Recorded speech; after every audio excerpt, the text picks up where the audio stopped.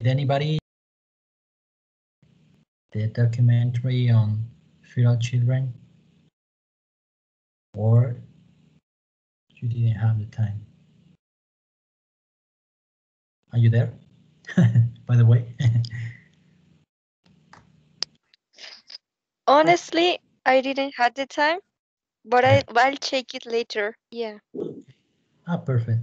Yeah. Yeah. Thank you, Erika. Yeah, teacher. Um, well, it was a video. It was. It's a documentary on the theories on language acquisition, language development, and the importance of um, social interaction when developing language, and how, to certain extent, language might define um, our perceptions towards reality. It was uh, good for you to explore because it has to do with all the theories we are um, shedding light on for discovering characteristics not only for children but for every single language learner you know adults young adults or um, or, or, or children in our case.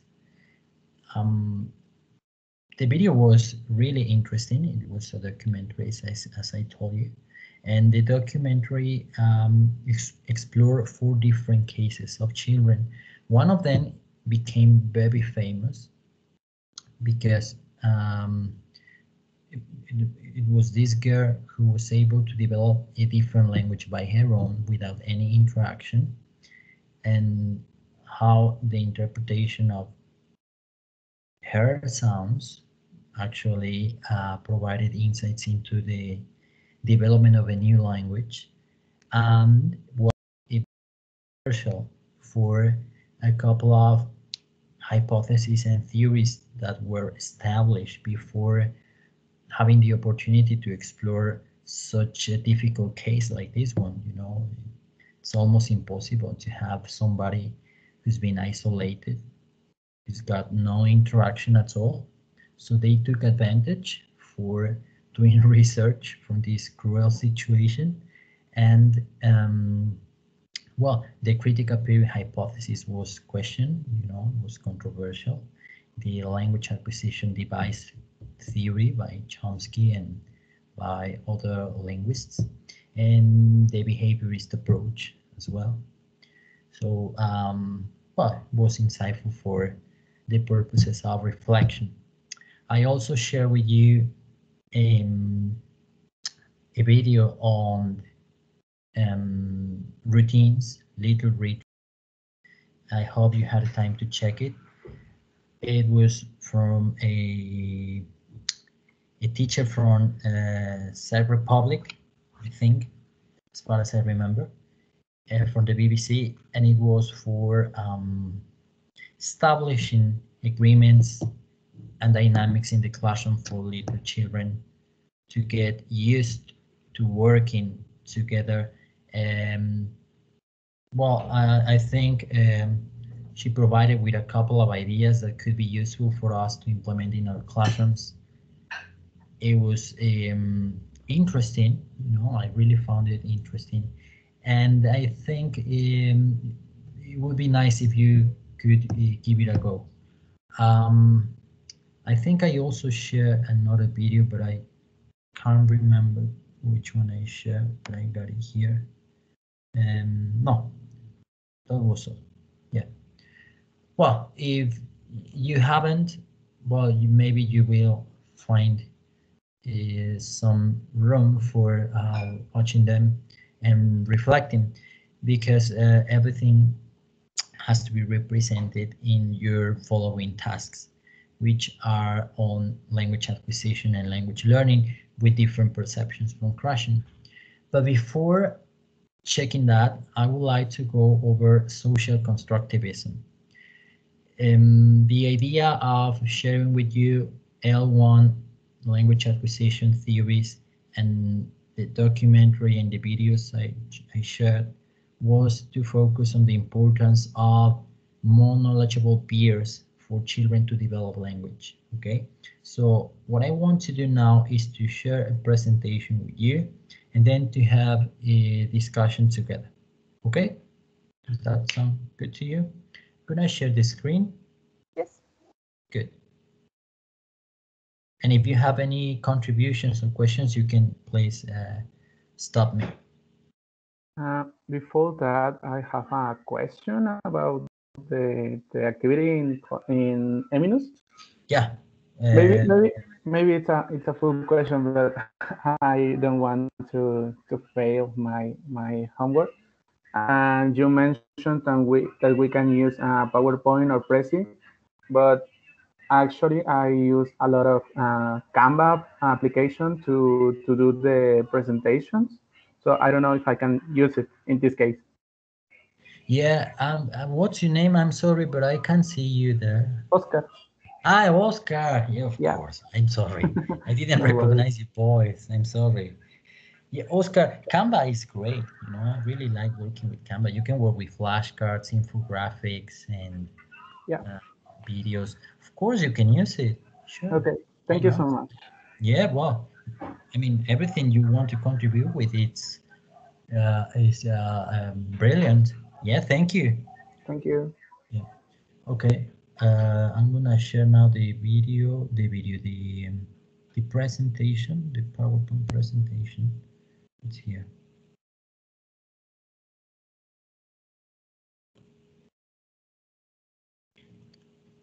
Okay, this is the presentation. It's on social constructivism, the role of interaction according to Vygotsky. Uh, well, Vygotsky is a, is a very well-known scholar. Uh, he was Russian. He was into um, into the academic field, but he was more into social studies. I actually decided to come up with the following quotation for uh, the beginning of the presentation. What a child can do today with assistance, she will be able to do by herself tomorrow. So um, it's it was a turning point for education. You know, this is social cultural theory. Um, I could see from your work, you know, from your tasks and and, and your uh, activities that you actually grasp the most important concepts of the theory. Um, internalization, the zone of proximal development, and while the role of more knowledgeable peers for children to develop language. And actually, since uh, Vygotsky's work, language started to become a more important element for cognitive development. So the difference between Piaget, which was the previous presentation, and Vygotsky's theory is basically a new concept of intelligence, social interaction, and the role of language for um, interacting in different cultures. Okay, so uh, I think after this presentation, I'm going to share with you another video. Hopefully you will be able to watch it. It's a video on how language shapes the way we think um, depending on the on culture, depending on interaction, and it's very interesting because it actually focused on Vygotsky's idea of language. Okay, those were the beginnings of um, you know the importance of language on cognitive development. Then, of course, Bruner started you know going into in, in depth exploring uh, the role of language. But um, I think it's uh, going to be um, really helpful for you to discuss and reflect on um, the importance of instructions, the importance of language, the importance of routines, and the concept of a new concept of intelligence. It's not about multiple intelligences, but it's a new concept of intelligence such as the zone of proximal development, which means that instructions play a paramount role for helping students to be challenged, Yeah, not frustrated, but challenged instead. Well, here you have, you know, um, one of the um, main ideas regarding language for Vygotsky. Language provides a child with a new tool, opening up, opening up new opportunities for doing things and organizing new information.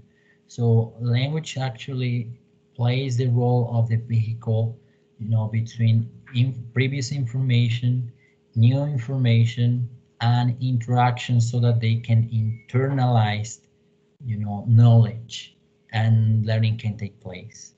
Some of you defined um, internalization very well. You know, I actually found a brilliant pieces of homework and and and I think I'm, I'm gonna share some of them with you, you know, so that you can discuss uh, the concepts.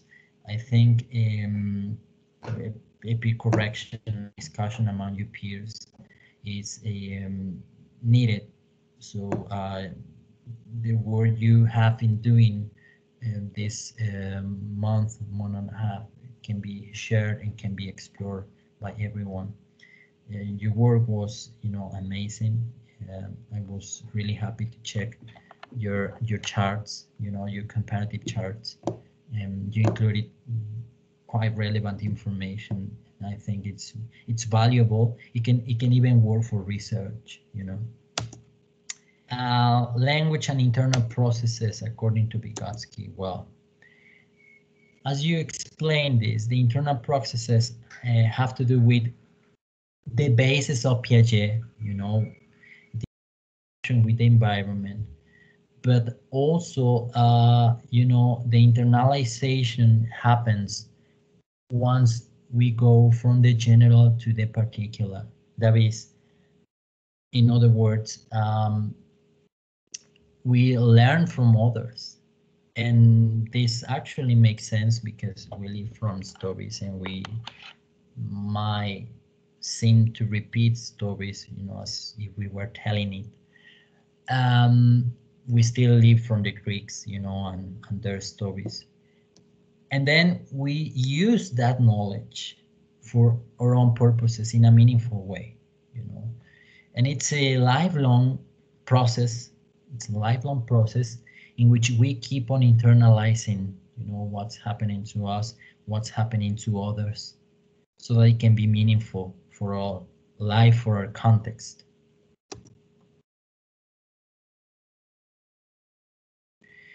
Well uh, here we have one more time the importance of a private speech and oral production. This inner dialogue that Piaget started thinking of and and, and of course uh, Vygotsky follow up the idea of this inner speech, private speech, in order to uh, internalize what we experience with others and to express it later on. Okay, the process of internalization is basically um, the way learning takes place. You know. Um, Another words for uh, internalizing knowledge might be incorporating, which is a very interesting word, you know, has to do with your uh, corpus, you know, with the information inside you, acquisition, learning. To describe this uh, transference of knowledge, you know, uh, on the interaction uh, in an interpersonal manner to the intrapersonal way, that is for your own purposes. And well, uh, acquisition, you know, uh, regarding language can be uh, suitable for describing this process. Well, children will learn through social interaction, eventually internalizing the use of language. Internalized language is that language available to a child to use without having to go through this step of mentally translating? So if we explore this definition by uh, Vygotsky, um, you know, well, it's not a definition, it's a statement. We can see how important instruction can be. And, and we could also uh, identify that acquisition processes are implied. They are immersed regarding a language. Okay. Um, if you can remember the previous presentations, we also check the um, um, um, you know one of the of the L1 acquisition theories, and we check how um, bilingual people might struggle, you know, with uh, interference constraints, uh, and you know, language for Vygotsky uh, to a certain extent could be linked with Krashen's idea of of a language acquisition. Okay, according to them, language acquisition can take place at any stage in life. It's just about comprehensible input for Krashen and well, the help of a more knowledgeable peer for, for Vygotsky. But regarding Vygotsky's work, the social environment plays a paramount role. Culture and the social context actually make up the learning and language development umbrellas, you know. Um,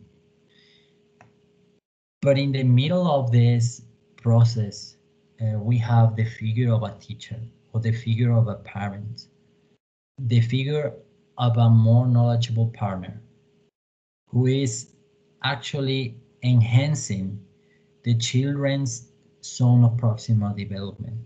The zone of proximal development is actually what children can do with the help of a more knowledgeable peer. Okay, it's not about you know tasks that could be too challenging for children and that might uh, produce feelings of frustration, anxiety, and stress. Or it's not about, you know, uh, keeping up in the comfort zone. It's helping them to actually go beyond, but establishing language goals. Okay. Um, basically, the zone of proximal development is could be a synonym of intelligence. Okay, because every single child has got a specific zone that could be worked. You know, uh, we have the definition of Pinter here. The zone of proximal development is the zone between the current knowledge of the child and the potential knowledge achievable with some help from a more knowledgeable peer or adult. There are some pedagogical implications regarding the zone proximal development, of course. If we think of a more knowledgeable peer, well, working in groups might be important, right? Peer correction is important. Working in pairs, in trios, you know, in small groups, separate tables are important regarding seating arrangement and classroom management. Um, more implications for this zone of proximal development is giving instructions in a clear way, you know, and focusing on language goals, but also, you know, cognitive goals. When, when you're working with children, you need to bear in mind that you are also uh, enhancing lower thinking skills and high order thinking skills. This is another figure, another picture of the zone of proximal development and how the child uh, can actually do things and can speak a little bit uh, or can produce language and the things you know that a child can do with the help of a more knowledgeable peer actually um, transforms that knowledge into new uh, uh, skills, new um, abilities, you know, and learning can take place. Well, you have already done a couple of activities regarding um, the Vygotsky. So I want to link this um, theory with uh, the sociocultural studies of Bruner, which are uh, actually connected. That's why I decided to go from Piaget to Vygotsky and then Bruner. Um, because according to Bruner, all children have natural curiosity and a desire to become competent at various learning tasks. We all know the characteristics of children already. They're curious, they're energetic, you know, they're looking forward to participating.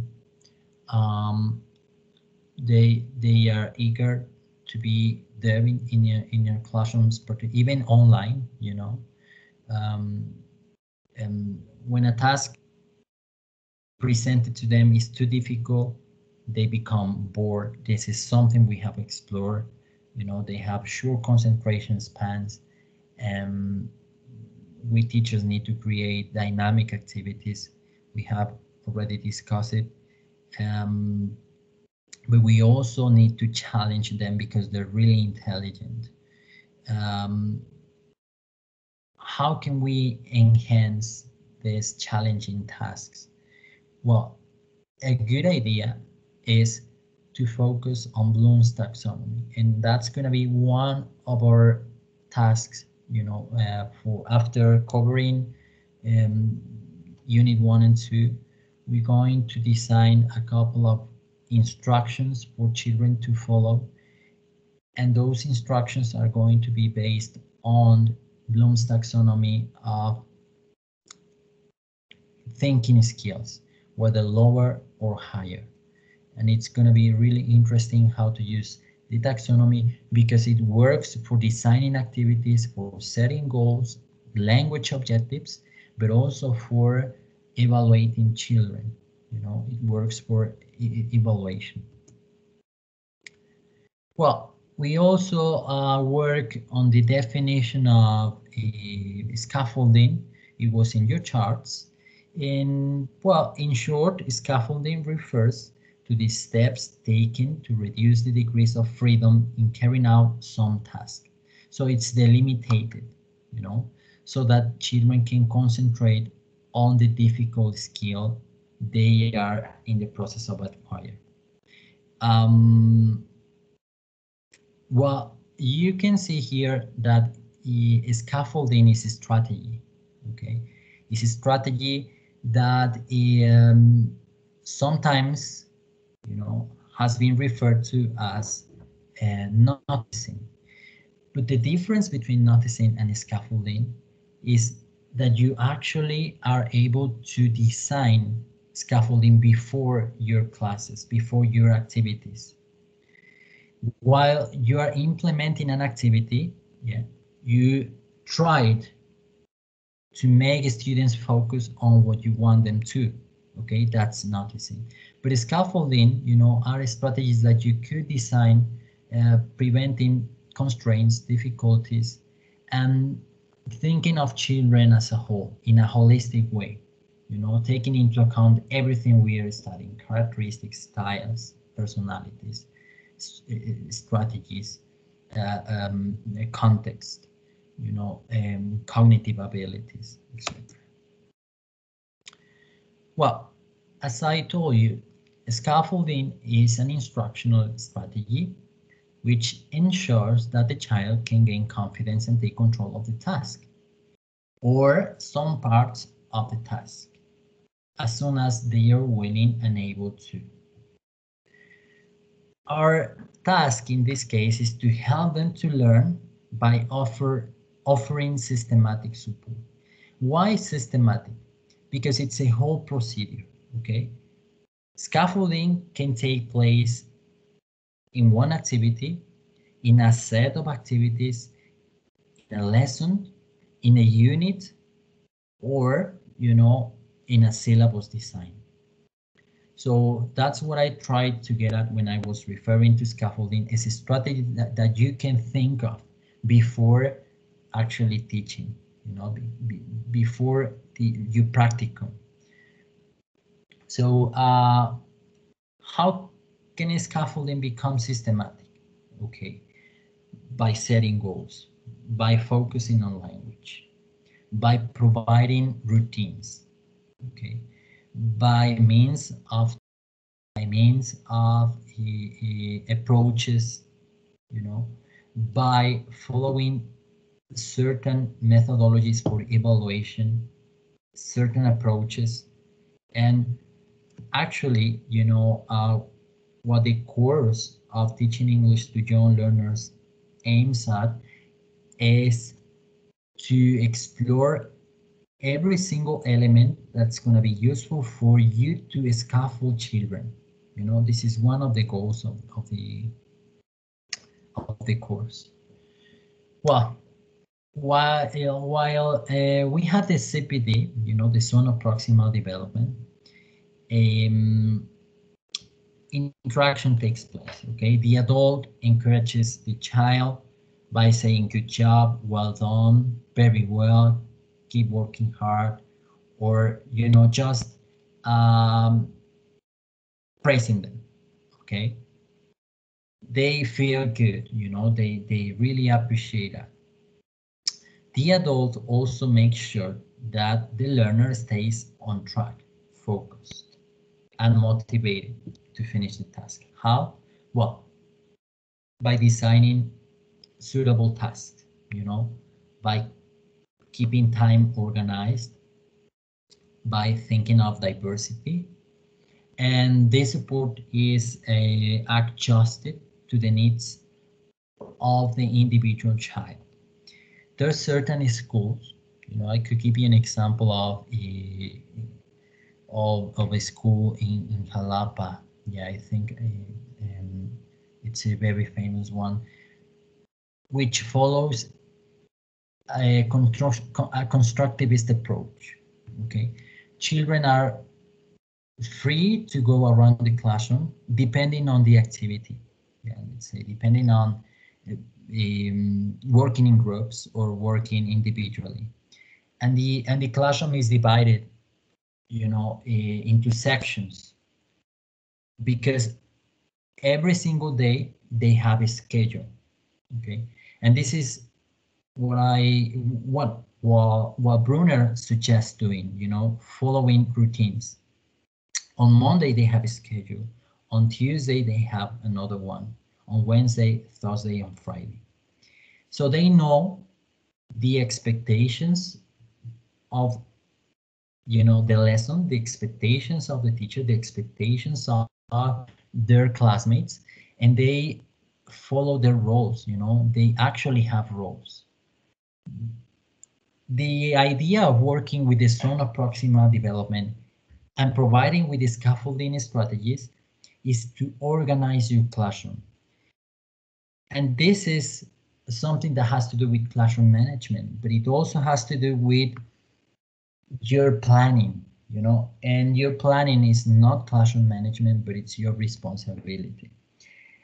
And how are you going to plan by taking into account, by taking into consideration internal and external factors such as the curriculum, uh, children's motivation, the philosophy of the school, the book you're following, the evaluation, you know, the discussion with parents. So uh, this is a, a just an example I wanted to share with you because the organization of your classroom can enhance, you know, the zone of proximal development and scaffolding, how to store material, you know, how to move your chairs, how to move desks, how to work in circles, etc. We're gonna check it, you know, step by step. This is in a, an illustration of um, scaffolding. Uh, you can see the comparison there between the ZPD and this scaffolding uh, be, because it's quite similar, you know. The current understanding of children is at the bottom. The uh, challenging tasks that can become overwhelming or frustrating for children are out of reach here. But if you plan properly and you design your activities and you provide with systematic procedures for children to feel secure, you can work on their, pro on their zone of proximal development and you might help them, you know. Of course, this is about, you know, working on your sensibility and, and, and sensitivity as, as well. Let's check a couple of tasks, you know, from very particular examples rather than the syllabus. Well, to make children be interested in the task, how can you do that? By means of contextualization, okay, by knowing their uh, characteristics, likes and dislikes.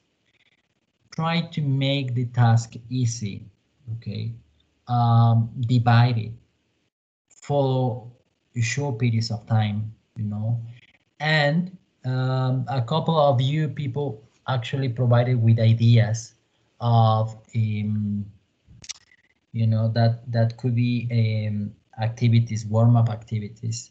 And and and some of you uh, I can remember suggested using um, very short songs you know. When they are getting distracted yeah, you can uh, uh, catch their attention again you know by singing a song and there are more more uh, um, strategies that we're going to check when we focus on, on the approaches. Well, um, effective scaffolded tasks by uh, keeping the child on track towards completing the task and focusing on what it is important. Uh, pointing out what was important to do or show the child other ways of doing tasks or parts of the task, control the uh, children's frustration, and demonstrate an, an idealized version of the task. Okay, giving examples, um, being empathetic, and of course you need to be creative and you need to be full of energy as well watch a video of uh, formats routines and little rituals. I think it's, it's going to be helpful for you. It's going to give you a couple of ideas to follow in, in your classrooms and for the following tasks. It could be, it could be useful for the following tasks. Well, here you have an idea of noticing, which is also relevant for scaffolding and systematization. Um, teachers can help children to attend what is relevant by suggesting uh, praising the significant, providing focusing activities, encouraging rehearsal, repetition, or even drills without, you know, um, being um, afraid of using a, an eclectic approach, you know, using different methodologies. Uh, being explicit about organization, reminding, going back to the main goal, um, uh, going back to the previous task, modeling, um, and you know, giving examples, okay, um, helping them with uh, the activities.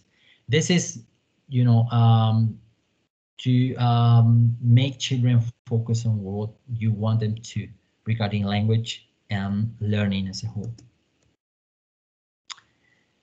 Well, um, According to Bruner, children acquire a way of representing recurrent regular, regularities in their environment. For example, routines. And this is what uh, Bruner actually shed light on. You know, routines were a paramount strategy for working on scaffolding and for learning to take place and for language to be developed. Okay, so um, routines are actually very important and some of your suggestions were um, remarkable. Okay, um, these are features of events that allow the scaffolding to take place. Okay, routines. I combine the security of what uh, the, the previous knowledge with the suspense of what is about to happen. You know, of course, you know, when you're working with children, you need to be careful because they need to know what you expect them to do. So they need everything to be planned so that they can feel secure. Little rituals, okay. Think of a remarkable teacher you had in the past. Why do you remember him or her? Yeah, any kind of teacher, it could be, you know, math or history, science. And then think of your own characteristics as a potential teacher. Well, some of you are pre-service teachers already. You know? Think of you as a teacher. Are you an easygoing teacher? Are you relaxed? Are you a cool teacher? Or you are a demanding one? You know, um, try to recognize your characteristics. And then think of the following questions for your reflection. Would you like to be everyone's favorite teacher? You know, that every single child is just yelling your name and, you know, um, and something that, you know, happens to teachers at the beginning that they feel really proud of their profession or their job when they're called teachers, you know.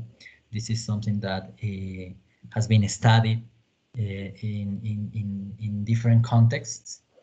Not in, in Mexico, because in Mexico, the emotional develop the emotional dimension of being a teacher, well, needs to be more studied.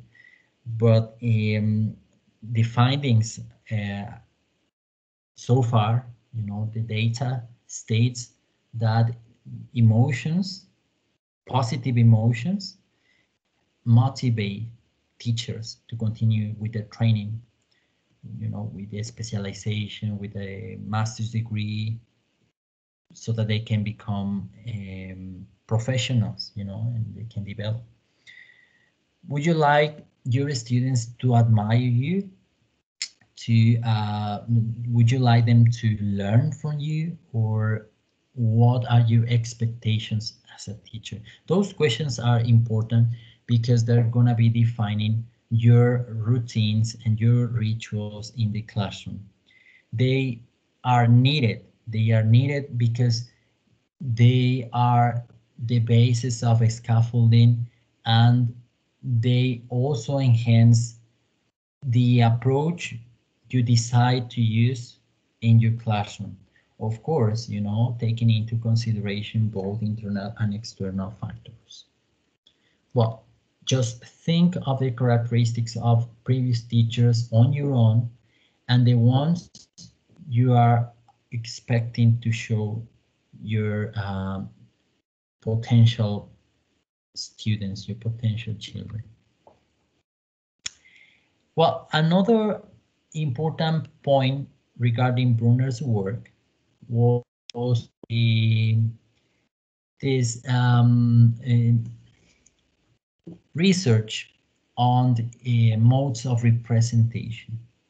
Those modes of representation might be compared to uh, Piaget's stages of development. However, you know, there are certain differences in one of the, you know, most important ones is that these modes of representation can move you know, backwards and forwards. While these stages, you know, once you overcome a stage, you cannot go back.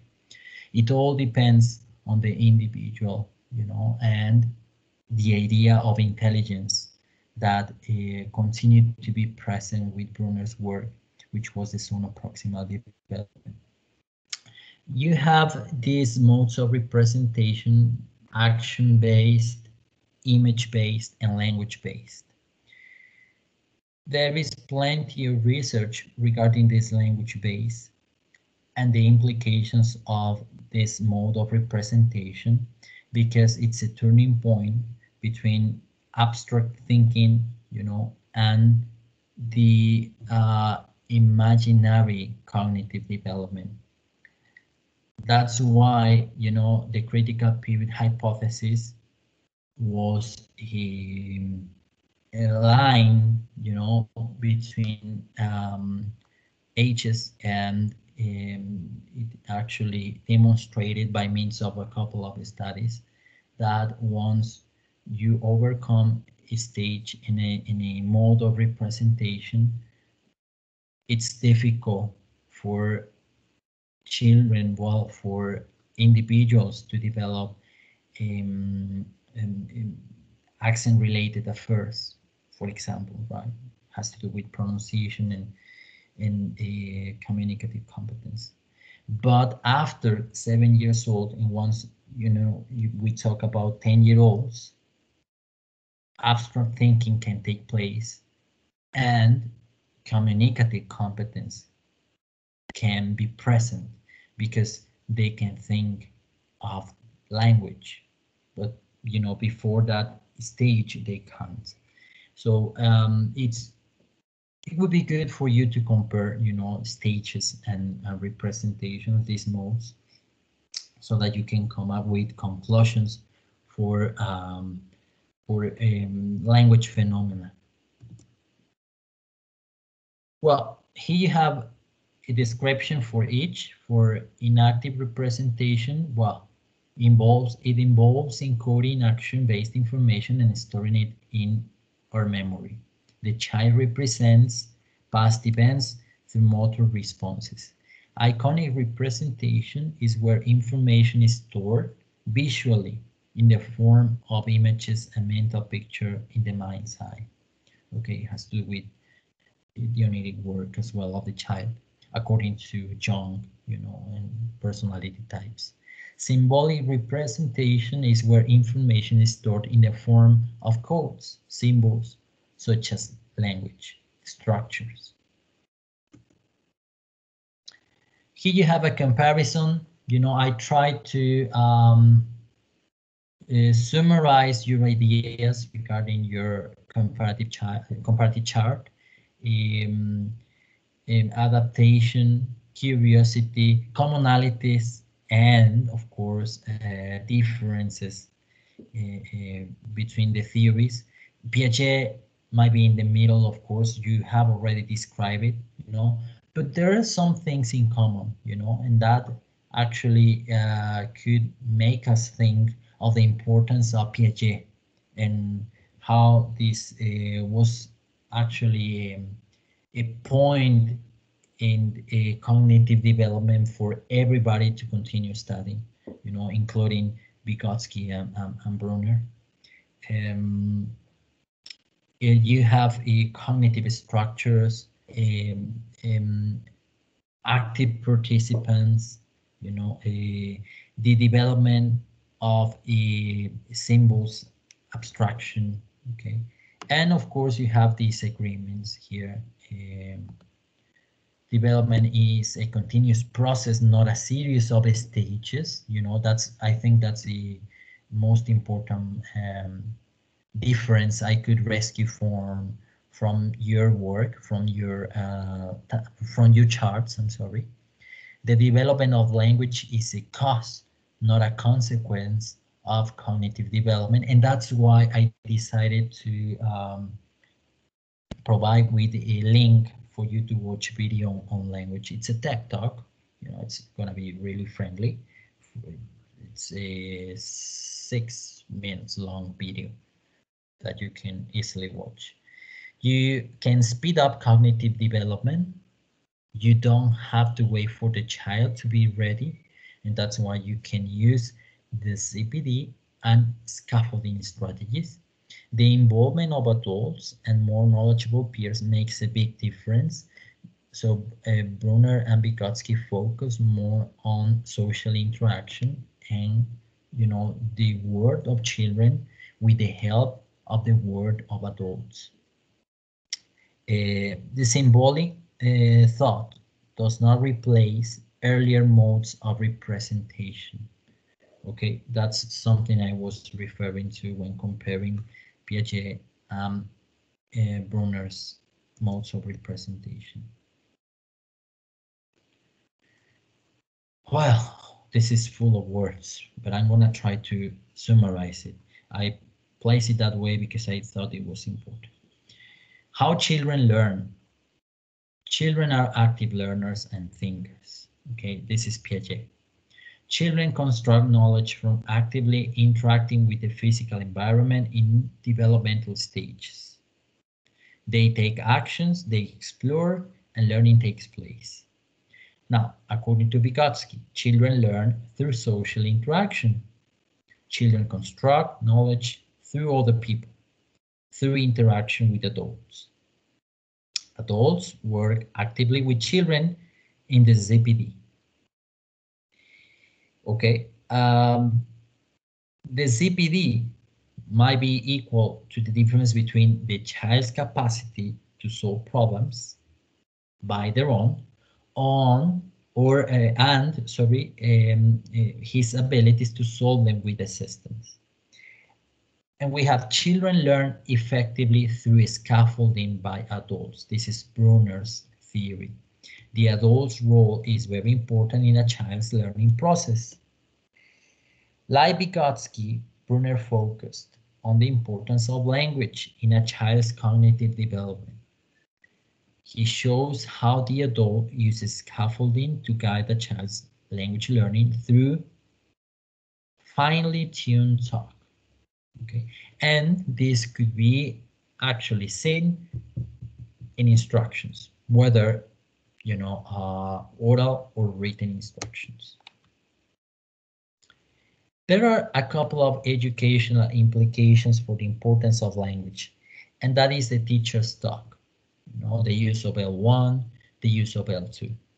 And you could actually read that when you explore Cameron's uh, Cameron's book, um, the use of L1, the use of L2, the ads and cons, you know, um, for some people, you know, for some scholars, such as Moon, uh, Cameron, Pinter, the use of L1 might be useful in foreign language foreign language contexts, while for other scholars, specifically for Krashen, the use of L1 uh, deters language acquisition. So there other strategies for Krashen for you to um, get across, for you to focus, focus on um, on the objectives of your class, okay, and for uh, acquiring language. Well, we're going to check this in uh, in detail with the following presentation of Krashen.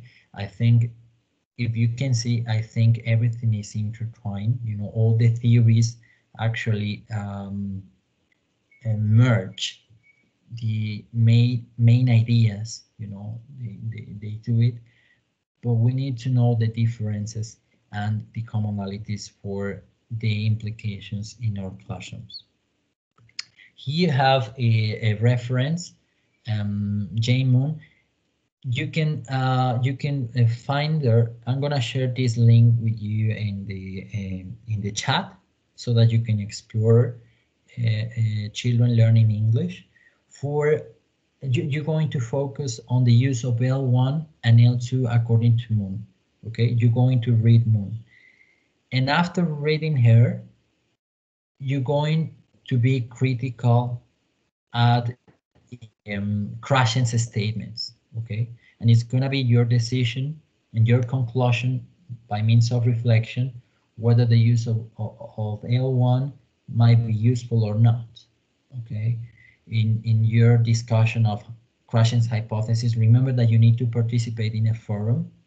Uh, um, hypothesis and and, and comprehensible input, and the silent period is going to be involved there as well. So uh, try to consider to bear in mind what Moon states and what Krashen argues regarding the use of L1 and L2. Okay, uh, it has impact on you know uh, the interaction in your classroom. It's the way you want to build up a community of practice in your classroom. So if you use L1, it's because you're following one approach. If you use only the L2, is because you need more scaffolding strategies and working on a, every single child ZPD. Okay, so it's got implications, but that's something we're going to discuss together. Here you have more uh, references, well, Pinter, uh, Halliwell, and Wood, Bruner, etc. Okay, I'm gonna share this one with you in the chat in a moment. Professor, Yeah. I have a question. Yeah. Um, give me a sec. Me escucho con mucho eco, ¿verdad? I'm listening to you. Ok, Yeah, go ahead, please. Yes. Um, Vygotsky and Bruner's theory are both based on social interaction, but we, when when they talk about help by adults, the difference between Vygotsky and Bruner's theory is that scaffolding is the mm, separation into steps, and in Vygotsky, kids just help. Or what? Okay, thank you, Vale. I guess that was a question, or was it a statement?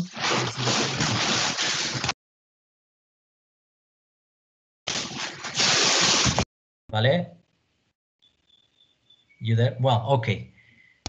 Yes, I'm If we think of if we think of Vygotsky, okay, we need to be really critical, okay, because first of all, he was Russian, okay. We need to take into consideration everything, and you know, this Russian philosophy of life, you know, in the 19th century, in the in the um, mid 20th century, was a um, actually proposing, you know, a different way of thinking regarding paradigms. Okay. And the paradigm that people was people were used to was this cognitive constructivism. And cognitive constructivism had to do with the environment, behaviorism, etc. So Vygotsky proposed, you know, a brilliant idea, you know, a, a- he had a brilliant contribution on social studies because for him, you know, language was not only about a language acquisition device, but it was about interaction. When Vygotsky talked about help, he was referring to interaction and the importance of interaction between child to child or between parent to child or between child and teacher. Okay? That's what we want what, what we wanted us to focus on what we what what he wanted us to understand from social interaction was that we are not alone you know that language can be developed by means of talking to others and by listening to them and by expressing and by sharing feelings you know and you know uh, he actually shed light on the fact that culture and language transform our perceptions transform language and language has an impact on individuals and individuals have impact on language. But for Bruner, on the other hand, for Bruner, although it's not that different, here has to do with a systematic procedure. Okay, it's not only interaction. For Bruner, interaction is important, okay? but language is explored in detail so that we can systematize procedures for learning to take place. Not only language, but any kind of learning. For Bruner, you know, uh, language became the main vehicle for children to learn. And how is it different, you know, the term help between Vygotsky and Bruner? Well, it's really straightforward. Systematization has to do with the knowledge of an adult, you know, or a young adult, you know, or even a child, yeah, um, that is employed in order to help systematically, okay, with in, in a conscious manner, okay, in a conscious manner to help a child in order to achieve a learning goal. While for Vygotsky, you know, it was all about interaction without following procedures, without following steps, without focusing on rituals that actually enhance scaffolding, you know, and, and scaffolding is a strategy that takes several um, several strategies in the classroom, outside the classroom, in the first institution, you know, it's it's a, a um, it's a different perception you know it's a different perception because culture impacts language but language is the main vehicle for understanding the world okay? So i think that bruner's contribution was was was actually that you know? Bruner's contribution um, shed light on language and and this has been discussed you know through years. We don't even know what reality is you know not even quantum mechanics you know not even science. And language is also a phenomenon that's been explored and it's really complex. But you know uh, so far when we talk when, when, we, when we think of Bruner nobody had focused on language for understanding, you know, what is happening to us.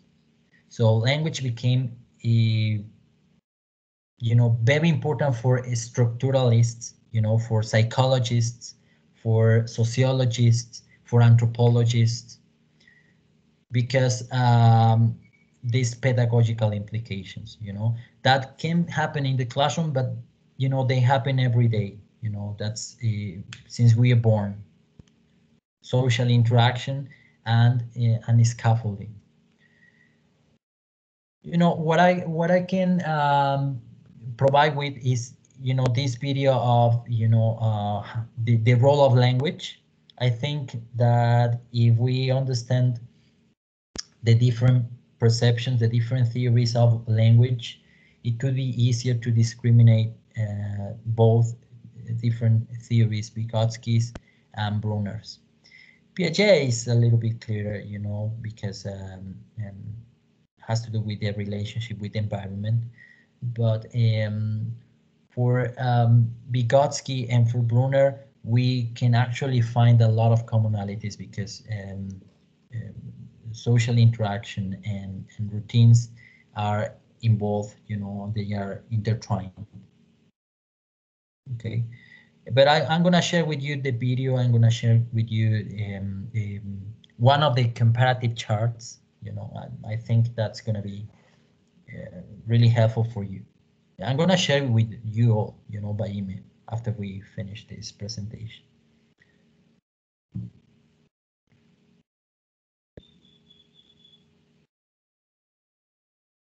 Is anybody there? Thank you. Yeah, thank you, Vale. Thank you for your participation, Valeria.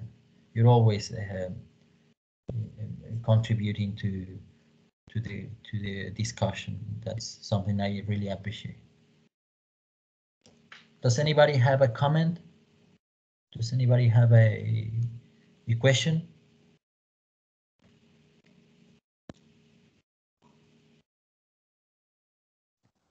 No? Well, in the chat, in the chat, you can see that I shared the link of uh, L1 and L2, the use of L1 and L2, Moon's work for you to read before finishing up your activities on Krashen. Okay. And I think it would be good to have a presentation regarding Krashen's hypothesis after you finish your activities, just the way we did today. Okay. Yeah, teacher, it's okay. Okay, teacher, thank you. Well, you have. Thank you, teacher. Thank you, thank you, uh, thank you very much. Now, ah, I feel you're here with me. Thanks. Um, I think you have until uh, next Monday for working on your activities, so you still have time. Um, organize yourself. Try to watch the videos I shared uh, and the videos I'm about to share with you. I think I'm gonna share one video and I'm gonna share one a chart with you all, okay, for comparing the three different theories. Right, and um, and well, I will be checking your work as soon as you get it ready. Teacher, just a question. Yeah, Uh, yeah, uh, we have to send you the link for our video, but it is through Google Drive. So how can we share it? We, um, you can place it in a Word file. That would oh, good. okay, What about that? Mhm. okay. Yeah, Ah, thank you. Did you have another question? No. Uh, teacher, uh, yeah. oh, oh yeah, we we will see you next week, next Wednesday or for Monday. Wednesday Uh, next class. Let me see. Um, I think we're gonna have a class on Wednesday, 21st.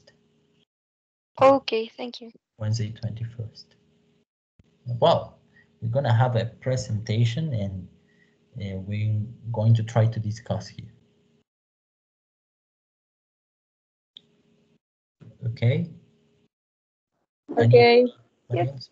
Thank you. Yeah. Well, thank you.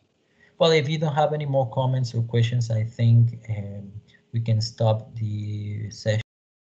I'm, I'm recording the session. I'm going to stop recording and I'm going to share this presentation to uh,